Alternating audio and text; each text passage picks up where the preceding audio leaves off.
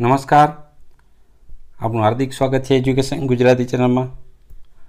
આજે આપણે ધોરણ આઠમાંના ગુજરાતી વિષયનો સેમેસ્ટર પહેલાંનો છઠ્ઠો પાઠ, ધૂળીએ માર્ગ આ એક ઉર્મિગીત પ્રકારનો પાઠ છે. જેમના લેખક છે મકરંદ વિજયશંકર દવે.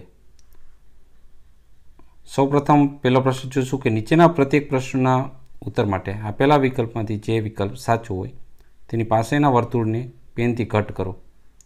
પેલું, કવિ પાસે શું નથી? તો સિક્કા અને નોટ. બીજો પ્રશ્ન, કવિ ઉપરવાળી બેંક કોને ગણાવે છે? તો ઈશ્વરને.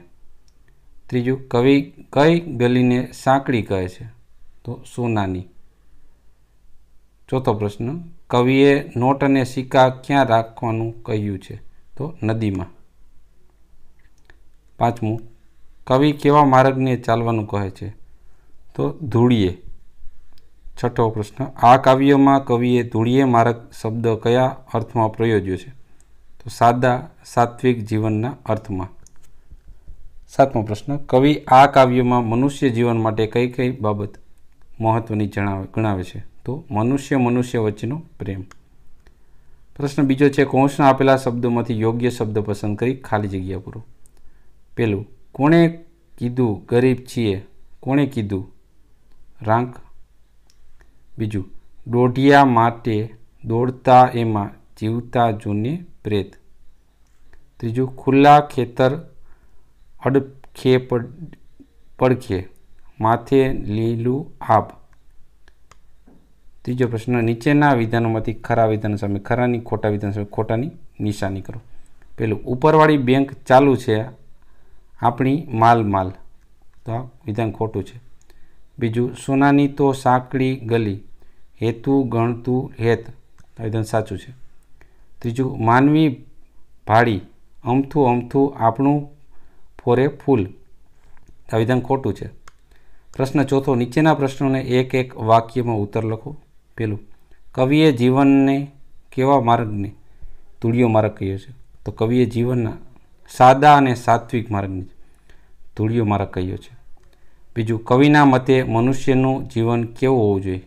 તો કવિના મતે મનુષ્યનું જીવન સાદું ને સાત્વિક હોવું જોઈએ. બીજો પ્રશ્ન, કવિ કોને સોનાની સાંકડી ગલી જેવું કહે છે? તો ધન વૈભવથી સમૃદ્ધ જીવનને જ કવિ સોનાની સાંકડી ગલી જેવા કહે છે.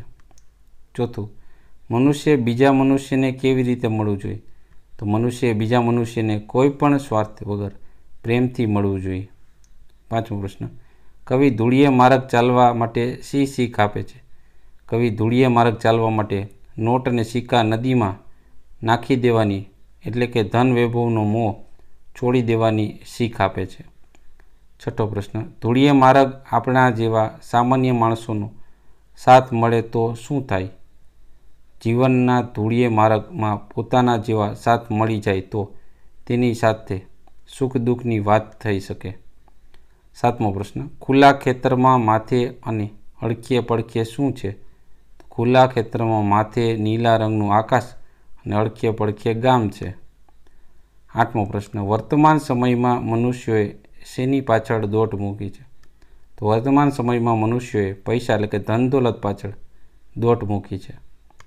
પ્રશ્ન પાંચમો, નીચેના પ્રશ્નોના બે વાક્યોમાં ઉત્તર લખો. પછી કવિ પાસે શું નથી? એની એમના મન પર શી અસર થાય છે? કવિ પાસે થોડા ઘણા સિક્કા નથી, થોડી ચલણો નોટો પણ નથી. છતાં એની કવિ પર કોઈ માઠી અસર થતી નથી. પાસે પૈસા ન હોવાથી પોતાનું કાંઈ બગડી ગયું હોય કે પોતાને કોઈ ખોટ પડી હોય, એવું કવિને લાગતું નથી. પ્રશ્ન છઠ્ઠો, નીચેના પ્રશ્નોના ત્રણ ચાર વાક્યમાં ઉત્તર લખો. પેલું, ધૂળીય માર્ગ એટલે શું? આ માર્ગ ચાલવાના કયા કયા લાભ કવિ ગણાવે છે? ધૂળીય માર્ગ એટલે કે સાદું અને સાત્વિક જીવન, આ માર્ગે ચાલવાના બે લાભ છે. આપણા જેવું સાદું અને સાત્વિક જીવન જીવનાર માણસોનો સાથ મળી જાય તો આપણે પરસ્પર પ્રેમથી એકબીજાને ભેટી પોતાના સુખ દુઃખની વાતો કરીએ ને આપણે હળવા થઈ જઈએ. ધૂળિયા માર્ગની અડખે પડખે ખુલ્લા ખેતરો હોય, ઉપર નીલા રંગનું આકાશ અને વચ્ચેમાં નાનકડું ગામ હોય અને પ્રકૃતિના ખોળે રહેવાનો આપણે આવો લાભ બીજે ક્યાં મેળવવાનો. આથી કવિએ ધૂળીય માર્ગ પસંદ કરે છે. બીજો પ્રશ્ન, ઉપરવાળી બેંકની શી વિશેષતા છે? તો ઉપરવાળા, ઉપરવાળી બેંક છે એટલે કે પરમેશ્વરની તિજોરી. એ ધન સંપત્તિથી એટલી ભરપૂર છે કે આપણે કોઈ ચિંતા કરવાની જરૂર નથી. એ માણસોને રોજનું ભોજન રોજ પૂરું પાડી દે છે. તેની કાલની ચિંતા શા માટે કરવી? પરમેશ્વર સૌનું ધ્યાન રાખનારો બેઠો છે. ત્રીજો પ્રશ્ન. જીવન અંગે કવિ કેવો આંખ સૂચવે છે? તો જીવન અંગે દરેકની સમજ જુદી જુદી હોય છે. કોઈને ગરીબાઈમાં જ સંતોષ છે, તો કોઈને ધન મેળવવાની લાલસા હોય છે. જીવતા પ્રેતની જેમ આવા લોકો દોડ દોડ કરતા હોય છે. સાદું ને સાત્વિક જીવન જીવવા માટે કઈ કવિ ધૂળિયા માર્ગને આંખ સૂચવે છે. પ્રશ્ન સાતમો છે, નીચેના પ્રશ્નોની સવિસ્તાર ઉત્તર તમારી નોટબુકમાં લખો. કાવ્યમાં પ્રશ્નાર્થવાળી પંક્તિઓ કઈ કઈ છે? તેમાંથી કયો ભાવ જગાડવો છે? જગાડ્યો છે, લખવાનું છે. આપણે વ્યાકરણ વિભાગ, પ્રશ્ન પહેલો એમ છે કે નીચે આપેલા શબ્દોના સમાનનાથી શબ્દ લખો. પેલું માર્ગ એટલે કે રસ્તો અથવા તો પંથ. ખાણું એટલે કે ભોજન અથવા જમણ. રાંક એટલે ગરીબ અથવા નિર્ધન. હેત એટલે પ્રેમ અથવા સ્નેહ. માનવી એટલે માણસ અથવા મનુષ્ય. સૂનું એટલે હેમ અથવા કંચન. સાત એટલે સંગાત. ખોટ એટલે નુકસાન અથવા તો ખાર્દ.